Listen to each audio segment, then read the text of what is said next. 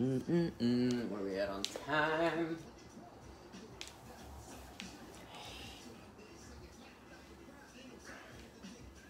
We're gonna rock out to Mos Def, waiting for a few people to join.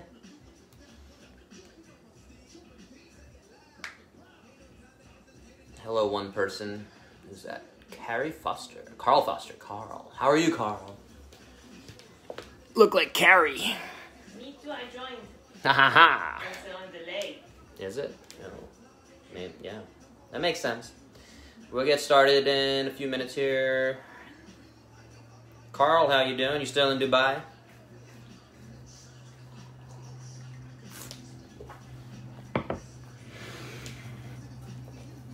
Are you? I think you left uh, Fit Republic. If you don't want to talk about it on this forum, that's okay. Um, but uh, yeah, welcome, man. Welcome. Um, we're gonna focus on thoracic spine today. We've been going up the body for the week. Uh, this will be on YouTube, so um, if anyone missed it, they can relive it. Uh, follow along. Carolyn? Welcome. Um, so uh, we did foot ankle on Monday. Came up to the knee on Tuesday. Hips yesterday. My favorite hips. And we'll hit the thoracic spine, especially with all of us kind of crunching. We'll give a few more minutes, let a few more people join. Give another minute here. If you have some space, all you need is a little space, zero equipment necessary. This thoracic spine's a really fun one that we can get a lot done with. I think it has huge implications for our overall health. So hopefully um, we can be getting things better as we are on lockdown. Hopefully everyone out there is staying home. So we'll start out pretty simple on all fours here. Just gonna turn, face the camera. Who's that? Carl.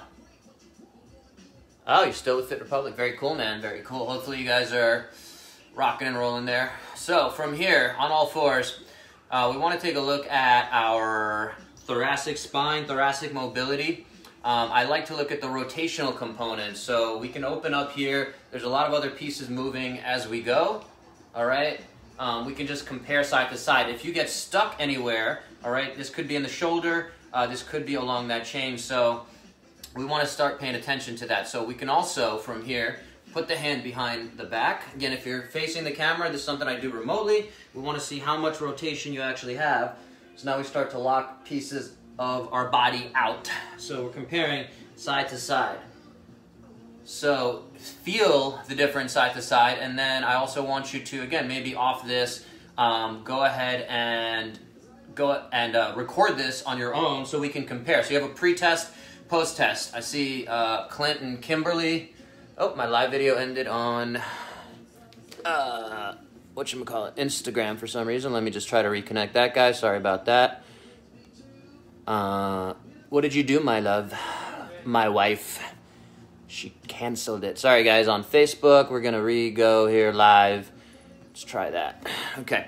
Um, so yeah, Clint and Kimberly. Uh, Clint is a PT, so you can use each other if you have someone else there with you to kind of gauge, assess, use another phone, and give us an idea of how much range you have on each side. We're gonna actually go and make it a little more uh, isolated and go into a kneeling position again, as long as it doesn't bother the knees or the ankles or anything like that. Bring your elbows together underneath, as close to your knees as possible. And from here, put the hand behind your back. And again, as long as you can, obviously for the shoulder. From here, we're gonna rotate and see where we can get. We wanna at least get to 45 degrees, if you can imagine that line. So we're gonna go both sides here. Okay, keeping that, uh, the forearms, the elbows are gonna give us that kind of reset and, and isolate us. And we're going both sides. So we wanna see if we can keep it uh, side to side the same, all right? So we have our kind of pre-test, the next 10 or so minutes. We're gonna try to keep it relatively short. We're gonna keep focusing on opening up everything through here and we can post-test that same thing and see if we get a little bit further um, in each of those positions. So those positions again were lockdown, elbows here, trying there. We can bring this up to on all fours, hand uh, behind the neck. You can check it, hand behind the low back. You can check it, or just opening up the arm. So all of these different ways to get things going. Next, we're gonna go and lie down on our side. All right, you can put this leg over the top. You can hold it down. If you have a pillow, you can use that pillow or a foam roller or something on here so that you're not opening up if you are that tight. So you're just going to where you can. We're going to do a rib grab open. So you're using this bottom hand to hold onto the rib. All right, you're not necessarily trying to lock it down, but we're going to open up and take a deep breath out as you go. I'm going to come a little closer to the camera so I'm not hitting the couch. All right, so rib side lying thoracic rotation. As you can see, I start to lift up here, so I want to fight that and keep that knee down actively so I'm getting more of this diagonal stretch. Feels really good. Really good one to do when you're getting in and or out of bed. All right, so uh, first thing in the morning or last thing before you're going to sleep. Deep breath as you rotate. You can come back. Let's do one or two more here. So reach across there and then rotate out. Deep breath. If you have a couch here, you can actually grab the couch and give it an extra little pull. If you want to get a little more active, get a little more out of it. But I think for most of us, just going into this range of motion is going to feel really good and start to get us opening up. I'm just going to rotate over this other way. Do the exact same thing here. All right, so uh, pillow there, again, or a foam roller, anything you need there. And we're going to grab that rib, and we're going to rotate, keeping that knee down actively. I'm using the couch this time to give an extra little pull. And play around with where your head's going as well. And then we're to come back. I'm to reach toward the camera a little bit here. So we're getting motion into that thoracic spine. Today's whole focus is on that thoracic spine. All right? Deep breath as we're going out this way. Very good, very good. All right, guys. Let's keep it moving. We're to come back on all fours. I'm not sure what's going on with my Instagram.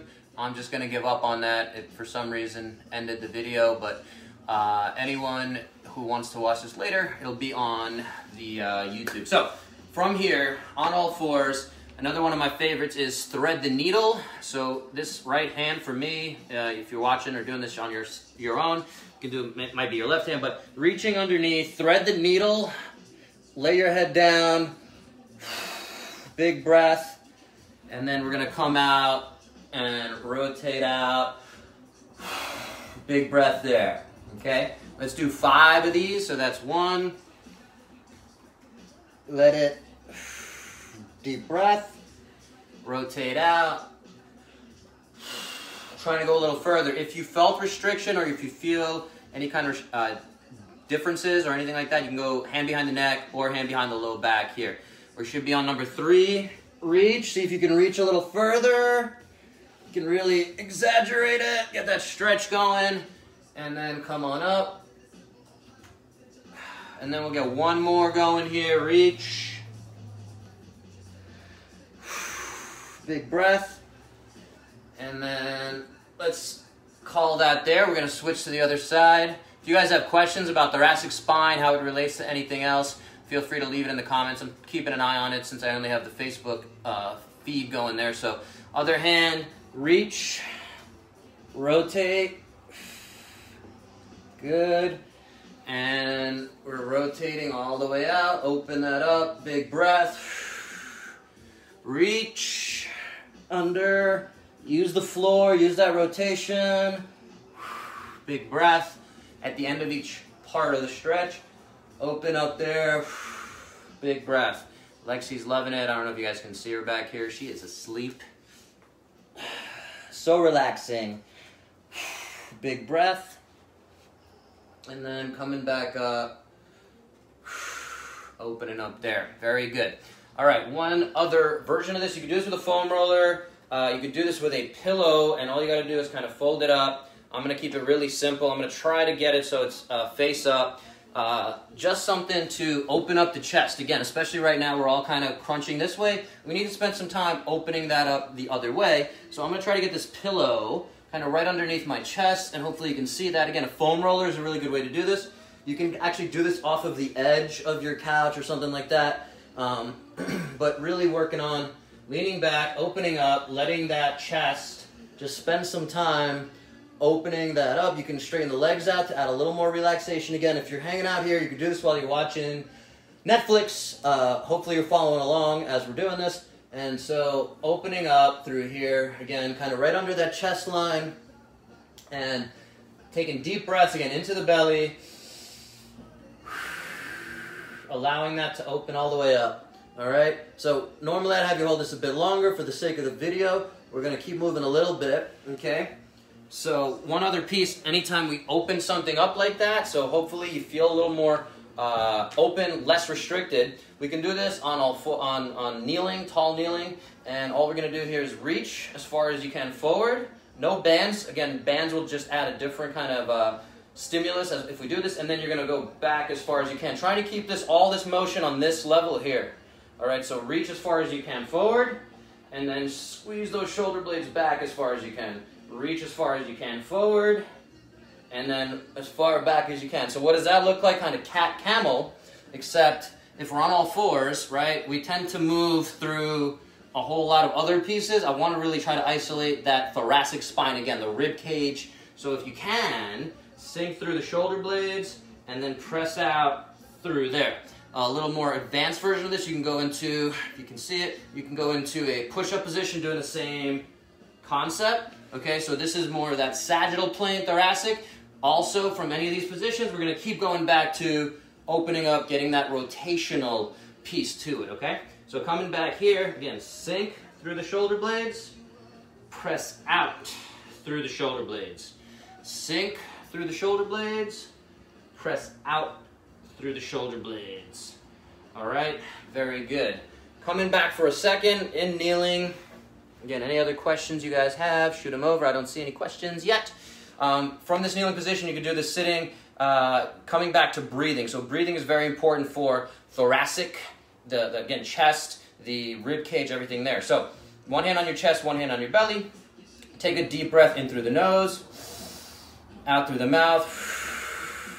I think I saw Zach was watching earlier. I don't know if he still is, but uh, last time I checked with Zach, uh, Edgar, I know uh, are very big chest breathers. So again, when we're stressed out, that's the fight or flight response. We tend to go to this chest breathing. That is not very optimized breathing. If we can, we're going to go down and breathe into the belly. So deep breath in, get that stomach expanding out, and breathe out. So if uh, you're getting better breathing, getting it more relaxed. This is a really good way to calm down our nervous system. If you just checked out the news, I don't know why you're doing that. I mean, we're all prone to it. I try to limit my exposure to the news as much as possible. That's my best advice I can give you. As much as all this movement's important, calm down and, and let's find these ways to relieve that stress, all right? Do what's in our control. So, breathing is definitely in our control. So, anytime you do happen to check the news, um, maybe you go back to, to doing a little bit of breathing as you're absorbing what is going on in the world. So, back to that deep breathing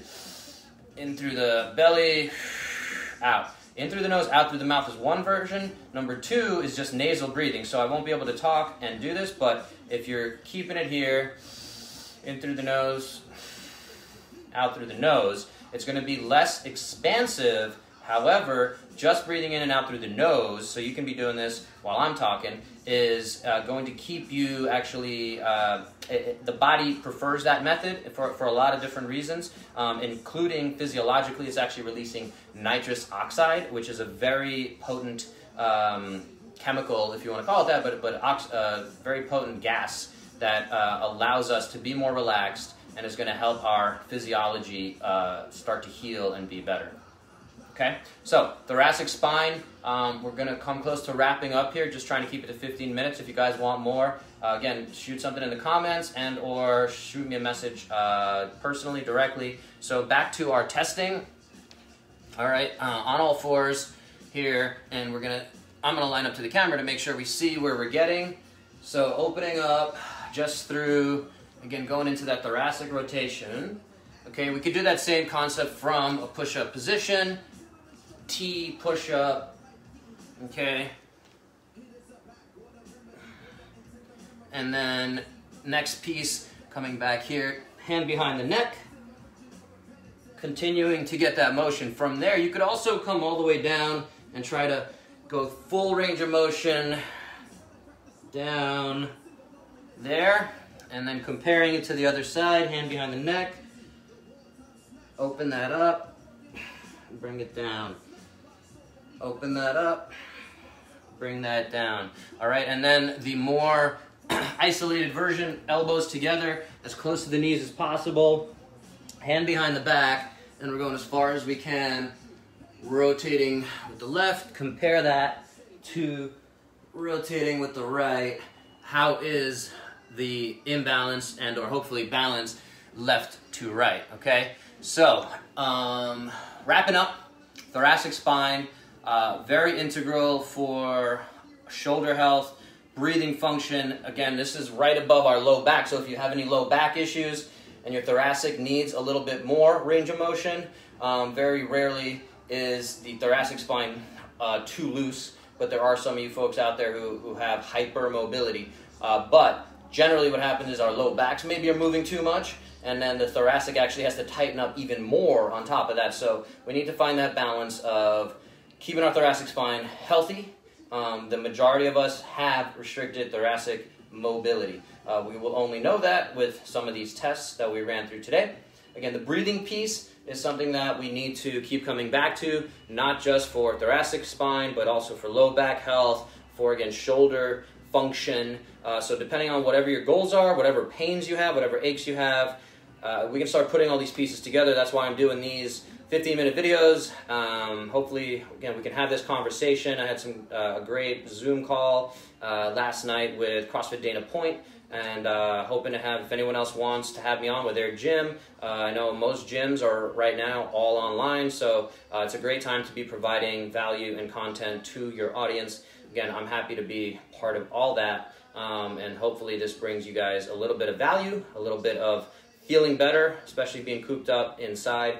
Um, you know, go out, be safe, uh, but for the most part, stay home, stay safe keep moving though. We need to keep our, our sanity. So um, looks like absolutely nobody's on right now, but this will record on YouTube. So um, I will talk to you guys later, and hopefully um, you're all staying safe.